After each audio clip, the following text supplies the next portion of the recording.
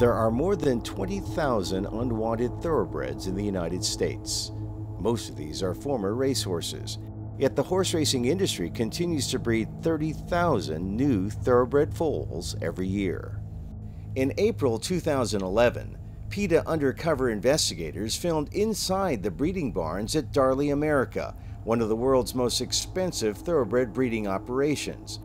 At Darley America, famous stallions cover more than 100 mares each in a single breeding season in a regimen similar to a factory assembly line. Here you see Street Cry, who is the sire of Zenyatta and Kentucky Derby winner Street Sense, being goaded by workers to mount a mare.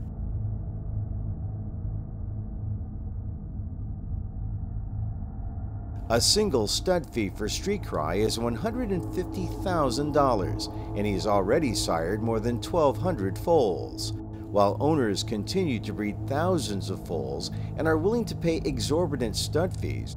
More than 10,000 thoroughbreds every year will be sold for slaughter at livestock auctions like this one.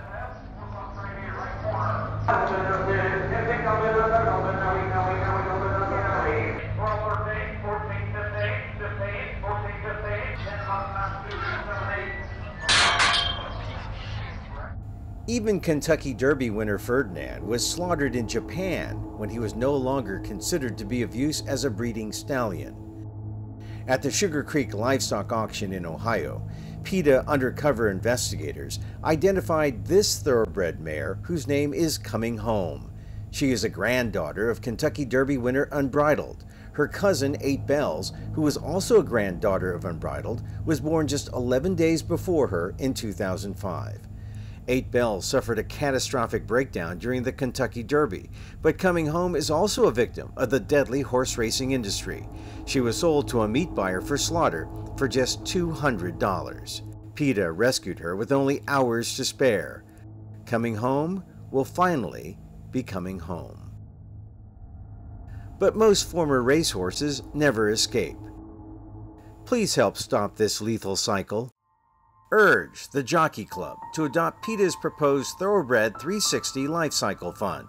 This would generate more than $20 million per year to help ensure the safety and welfare of thoroughbreds after their years on the track are over. To send an online letter to the Jockey Club, please go to PETA.org. Thank you.